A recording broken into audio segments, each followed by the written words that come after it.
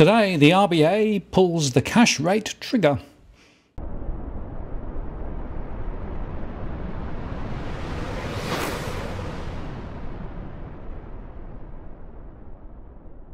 Hello again, it's Martin North from Digital Finance Analytics. Well, this post covering finance and problem news with a distinctively Australian flavour.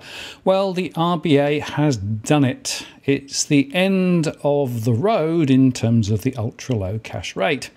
And just a quick reminder that tonight at 8 pm Sydney time, I'll be discussing this news with Professor Steve Keen, who's in the studio talking about all things economic and all things political. So join me live and you can ask a question, of course.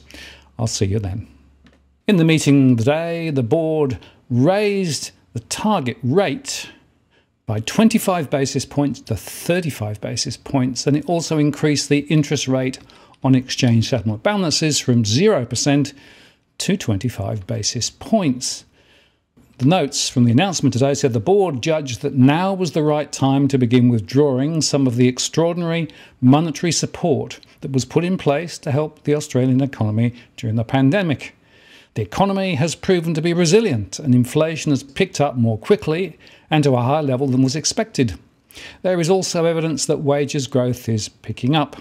Given this and that very low level of interest rates, it's appropriate to start the process of normalising monetary conditions. The resilience of the Australian economy is particularly evident in the labour market, they said, with the unemployment rate declining over recent months to 4% and labour force participation increasing to a record high. Both job vacancies and job ads are also at high levels. The central forecast is for the unemployment rate to decline to around 3.5% by early 2023 and remain around that level thereafter. And this would be the lowest rate of unemployment in almost 50 years. Sidebar until such time as they lift the migration input. Remember that we've got nearly 500,000 people out of the country at the moment who were previously in employment. That's why the rate is so low. The RBA went on to say the outlook for economic growth in Australia also remains positive, although there are ongoing uncertainties about the global economy arising from the ongoing disruptions of COVID 19, especially in China, the war in Ukraine, and declining consumer purchasing power from higher inflation. The central forecast is for Australian GDP to grow by 4.25% over 2022 and 2% over 2023. You heard that a significant drop next year. Household and business balance sheets are generally in good shape. An upswing in business investments is underway, and there is a large pipeline of construction work to be completed.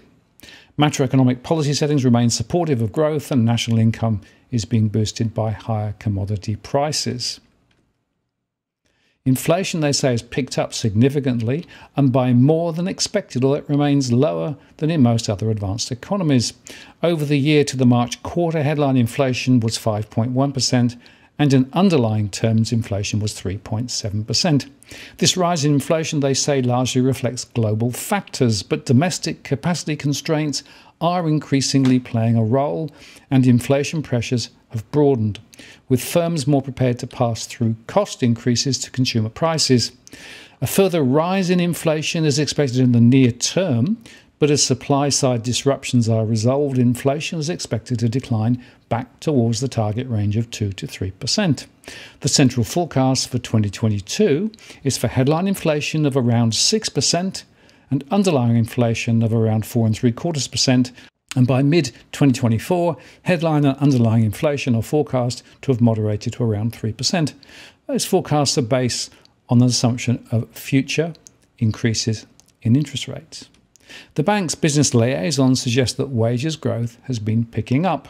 In the tight labour market, an increasing number of firms are paying higher wages to attract and retain staff, especially in an environment where the cost of living is rising. While aggregate wages growth was subdued during 2021 and no higher than it was prior to the pandemic, the more timely evidence from liaison and business surveys is that larger wage increases are now occurring in many private sector firms. given both the progress towards full employment and the evidence on prices and wages, some withdrawal of the extraordinary monetary support provided through the pandemic is appropriate. Consistent with this, the board does not plan to reinvest the proceeds of maturing government bonds and expects the bank's balance sheet to to decline significantly over the next couple of years as the term funding facility comes to an end. The board is not currently planning to sell the government bonds that the bank purchased during the pandemic. The board is committed to doing what is necessary to ensure that inflation in Australia returns to target over time. This will require a further lift in interest rates over the period ahead. The board will continue to closely monitor the incoming information and evolving balance of risks as it determines the timing and extent of future interest rate increases. So there you have it. A few points to make. First, of course, this really does throw a large pebble into the pond of the election campaign at the moment. After all, Scott Morrison is campaigning on a, being a great economic manager, but now interest rates are rising, costs of living are rising, and we know that many households are already under the gun. So you could argue that perhaps this step from the RBA is also going to have a significant impact on the election campaign. We'll see. Second point, of course, is this the rising rate of inflation is expected to continue for some time and will probably get worse, particularly seeing the international flows coming through.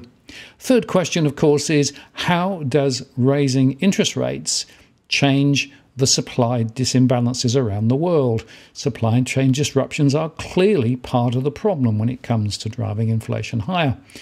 I'm not sure that lifting interest rates will necessarily address that. So we may see inflation running higher and longer than we think.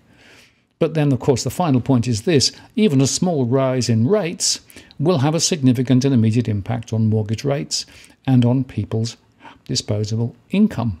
But more importantly, it also will have an impact on the psychology of consumers. Will they spend less? Will they decide not to buy that new property?